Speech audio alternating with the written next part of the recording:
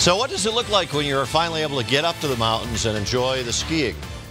kind of looks like that. That's five feet of snow in five days and a big smile on that guy's face. I think this person's smiling. We can't tell because they're so deep in the powder. That was at Loveland. Five feet in a week. Here we get one inch in about five hours here in the Denver area as the snows began to fall this afternoon, but this is a minor little storm, and here's what it looks like currently out at City Park. Just a little bit of snow is falling around here. Radar shows where it is. Watch how it develops over the last couple of hours. At first looked really promising along about 3.30, 4 o'clock, but the bands of snow kind of drifting to the north and weakening. We'll still get some this evening, but most areas pick up an inch or so, and a few of the spots on the west side, northwest side of the metro could get a couple inches more than that. Downtown, barely snowing. 21 degrees at the airport. We have 23 here. Pressure on the rise. Winds from the northeast at 8. Wind chill is at 11 degrees.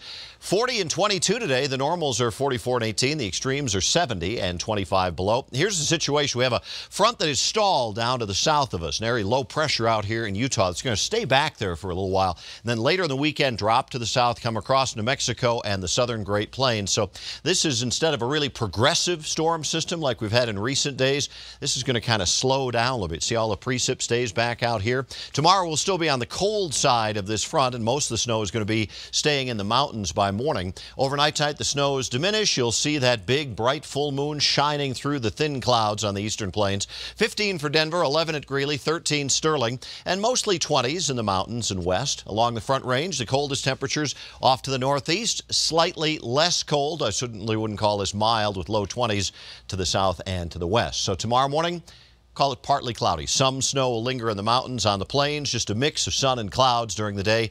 The snows will be lighter on Friday, but still a few inches for the mountains. Highs are still going to be chilly. 30s for the most part, a few low 40s out west. Front range numbers are going to be cool on Friday, but not a bad day. This is really mid January and about what we should see. So for tonight, a little light snow early, then colder, 15 for a low temperature. Tomorrow, the high getting up into the upper 30s, maybe a couple of flurries here or there. On the extended forecast, we're going to see temperatures stay on the cool side tomorrow, slightly milder Saturday, partly cloudy. Sunday, we'll get some snow, perhaps a couple of inches Sunday night, Monday morning, and then by Tuesday and Wednesday, some milder, some drier conditions coming up.